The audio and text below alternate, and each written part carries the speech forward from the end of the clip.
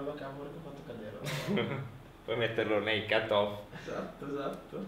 Ciao ragazzi, finalmente un nuovo video con la lavagna, spero vi sia mancata, mi è mancata molto e vedevo- non vedevo l'ora di parlare di questo argomento. È un argomento un pochino più complesso degli ultimi video che ho fatto, però è estremamente interessante. Devo trovare video e thumbnail accattivante per farvi cliccare qua sopra perché secondo me è un argomento che vi aiuterà tantissimo e aiuterà tutti coloro di voi che vogliono imparare a programmare in maniera autonoma i propri allenamenti. Parliamo di programmazione concorrente, quindi facciamo una brevissima introduzione su cos'è la programmazione concorrente, quali sono i, eh, le tipologie di allenamento un pochino più comuni che utilizzano questa tipologia di programmazione eh, e poi dopo magari vediamo un esempio di come potremo programmare con un paio di questi, di questi metodi. Cos'è la programmazione concorrente? La programmazione concorrente va a contrapporsi alle programmazioni lineari e a blocchi.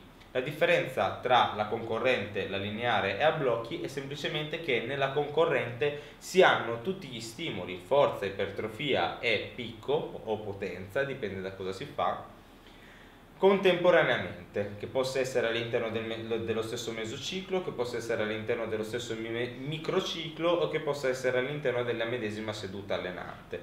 Come funziona un protocollo lineare per capire qual è l'opposto rispetto a quello di cui stiamo parlando ora? Si avrà un inizio, mettiamo che io vi faccio in rosso l'intensità e in blu il volume. Non ho rosso, sì, ce l'ho qua.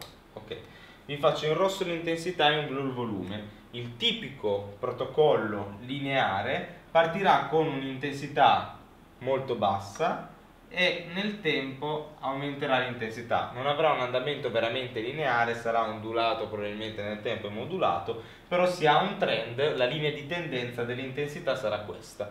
Qua si, sa- si avrà il picco nel caso del powerlifting o la competizione. Nel caso del bodybuilding si avrà un periodo in cui si ha un- uno shift un po' più dal volume verso l'intensità, mentre il volume avrà un andamento opposto, quindi si partirà da un volume molto alto e si arriverà a un volume molto basso, in concomitanza con il picco dell'intensità. Quando noi lavoriamo viceversa a blocchi, l'andamento, il trend è il medesimo, ma si hanno blocchi di periodi temporali dove domina uno stimolo rispetto all'altro. Quindi noi avremo per esempio su tre mesi avremo un mese di accumulo di accumulo dove avremo che l'intensità è molto bassa e il volume è molto alto.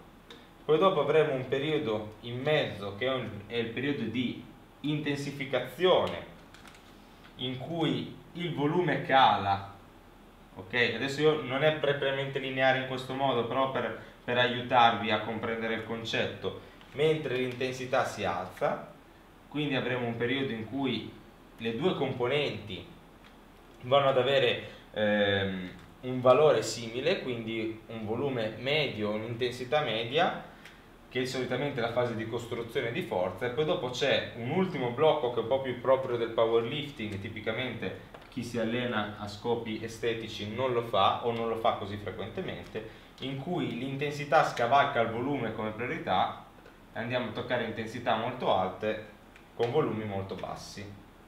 Questo è l'andamento tipico delle variabili nei- nelle due tipologie di programmazione che sono un pochino anche più in voga da quello che vedo io in Italia, in particolare nel powerlifting.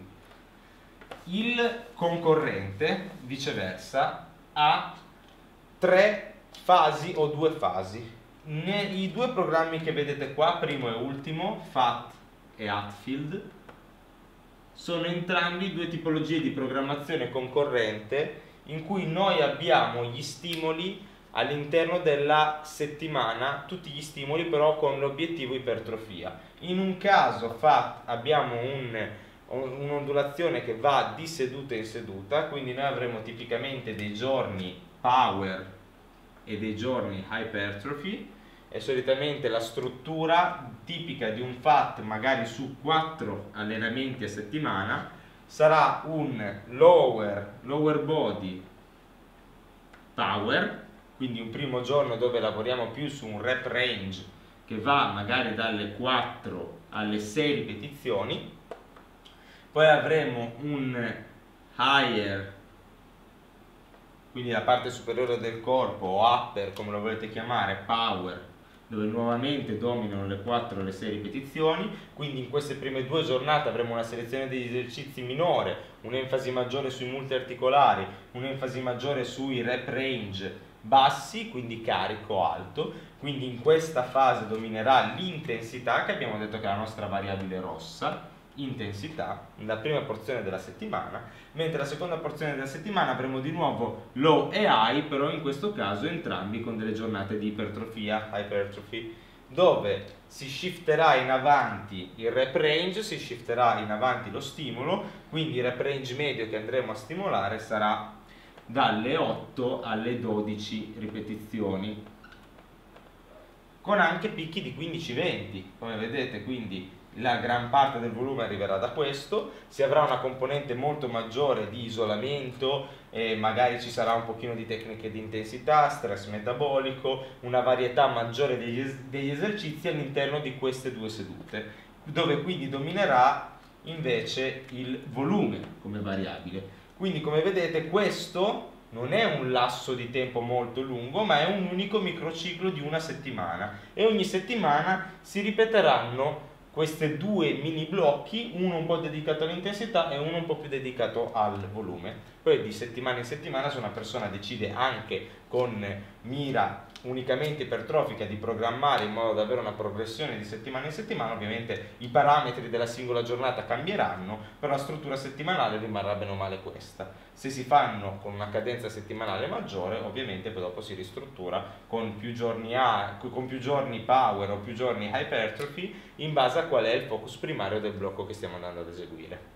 E questo era il primo esempio di programmazione concorrente secondo il FAT, un po' più mirato all'ipertrofia. Guardiamo il secondo, molto molto comune nel bodybuilding, che è il metodo Hatfield. Per chi non lo sa, entrambi questi metodi sono stati ideati da powerlifter perché c'è sempre in Italia questa diatriba che il powerlifting e l'allenamento della forza non servono a niente per chi vuole costruire ipertrofia. Però poi si vede gran parte delle persone che hanno obiettivo ipertro- ipertrofia utilizzare programmi FAT e Hatfield. Il eh, Power Hypertrophy Adaptive Training l'ha fatto, l'ha creato Lane Norton. Lane Norton è un ex natural bodybuilder che adesso si è votato, si è andato, si è trasferito tra i powerlifter. Silver, medaglia d'argento al, um, ai mondiali di powerlifting, l'ultima volta che vi ha partecipato prima di infortunarsi, è anche detentore, ex detentore del record del mondo di squat nei meno 83 kg.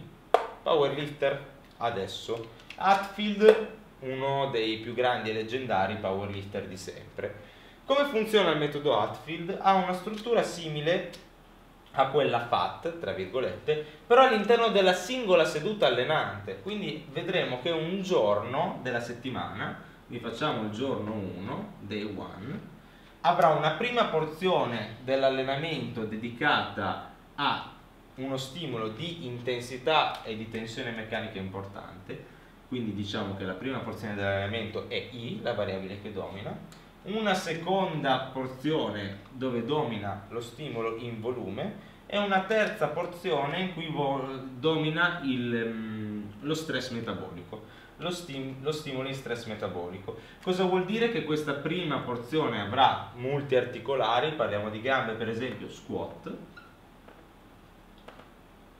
in un rep range basso, quello faccia, prendiamo più o meno gli stesse cose di prima, quindi vedete che ci sono molte somiglianze. Diciamo un rep range che va dalle 4 alle 6 ripetizioni, quindi un multiarticolare pesante dove utilizziamo dei carichi elevati e diamo uno stimolo di forza ed uno stimolo di tensione meccanica importante. Verrà seguito da una seconda porzione dove magari la selezione degli esercizi è un pochino più, un pochino più ampia e varia, quindi magari avremo una pressa degli affondi Ovviamente sto facendo un esempio un po' semplicistico, la press e lo squat sono entrambi movimenti che coinvolgono grosse porzioni della muscolatura che permettono un sovraccarico progressivo nel tempo, però per farvi capire un attimo, la seconda porzione avrà quindi una selezione degli, degli esercizi un pochino più ampia e un rep range che si sposta un pochino più avanti, quindi magari diciamo 8-12 come facevamo vedere prima.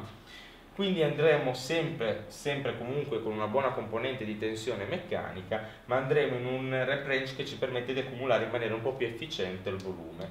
La terza ed ultima parte che abbiamo detto essere quella di stress metabolico, avremo degli esercizi di isolamento che potranno essere per esempio in questo caso un leg extension e un leg curl con eventuali tecniche di intensità se qualcuno le vuole fare per stimolare ancora in maniera maggiore questo stress metabolico e un rep range molto superiore, diciamo 15-20 ripetizioni. Devono necessariamente essere tutti esercizi dello stesso gruppo muscolare? No, questo è un esempio di struttura Hatfield in cui abbiamo una monofrequenza, quindi stiamo allenando, che non è detto perché se ripeto questo due volte alla settimana è già una multifrequenza, però stiamo allenando in una giornata solamente la parte inferiore del corpo noi potremmo avere la stessa identica struttura utilizzando l'intensità come variabile primaria per un movimento in una determinata giornata per la spinta, quindi magari la panca, per poi dopo avere il volume di gambe e lo stress metabolico di schiena. E quindi possiamo trasformare queste in una full body e poi dopo il giorno dopo ovviamente andiamo a, a, shiftare il focus per i vari distretti, quindi magari l'intensità diventa le gambe nel giorno 2,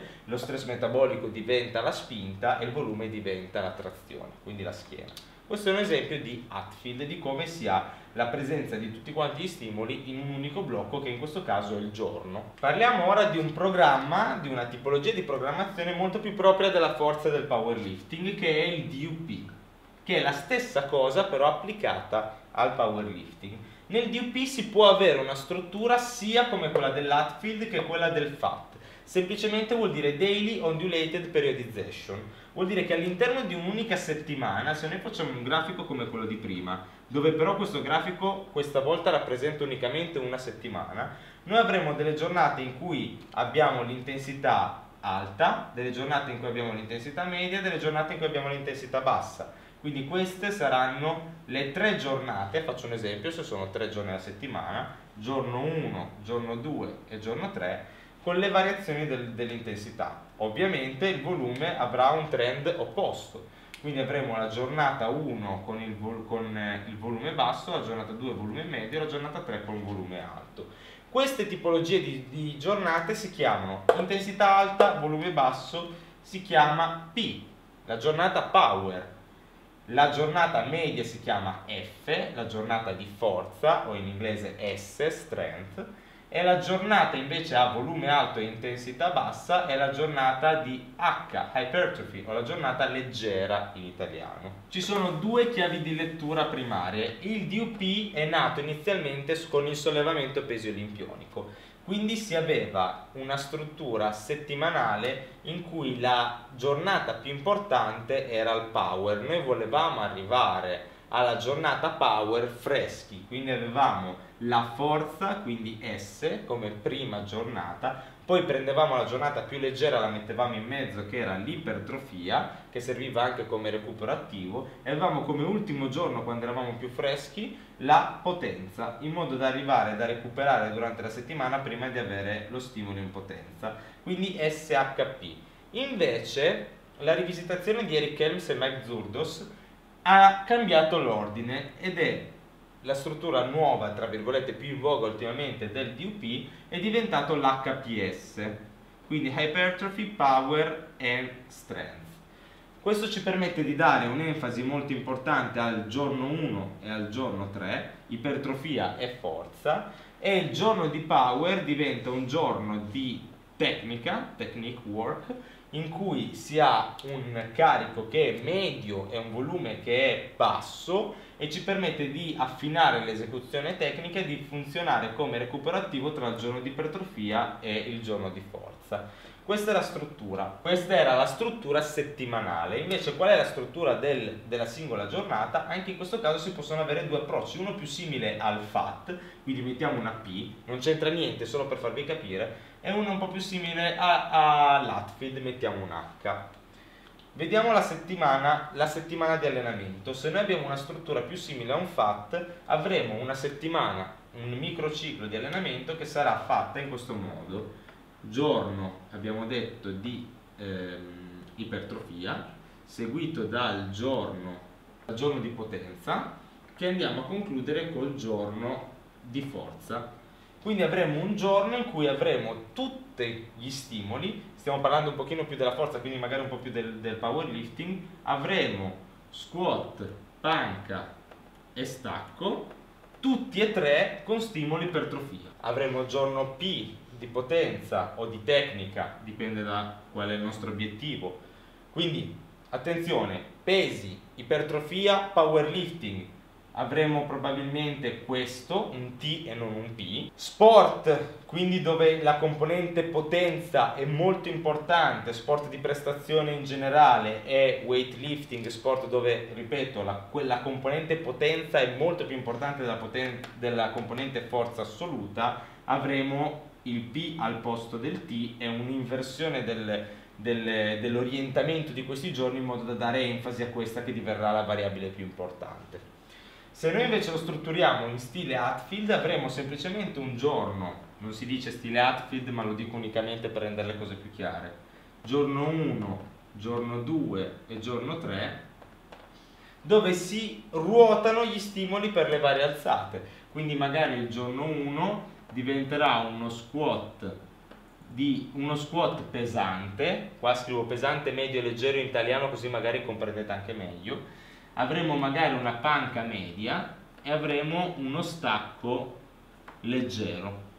Poi magari il giorno 3, quindi abbiamo un giorno di lo stacco pesante, possiamo mettere la panca media e possiamo mettere lo squat leggero. Quindi in questo caso il giorno 2 rimarranno l'altro giorno da utilizzare. Quindi il giorno 2 sarà una panca pesante, uno squat medio e uno stacco medio. Quindi questa qua è la struttura settimanale con le due varianti del DUP. Perché questo video? Questa tipologia di programmazione è estremamente interessante perché sembra dalle ultime evidenze scientifiche che lavorare su tutte quante le variabili contemporaneamente sia quello che permette di ottenere i migliori risultati sia in quanto ad ipertrofia che in quanto a forza sul lungo termine. Quindi se non l'avete mai provato provate, provate a, a programmare seguendo queste linee guida, se vi è stato utile, vi è piaciuto un altro video nuovamente scientifico con la lavagna, per favore fatemelo sapere perché ci tengo tanto, sono quelli che piacciono a me più di tutti quanti, se me lo volete far sapere un like, iscrivetevi, lasciatemi un commento, ci vediamo al prossimo video. Ciao raga!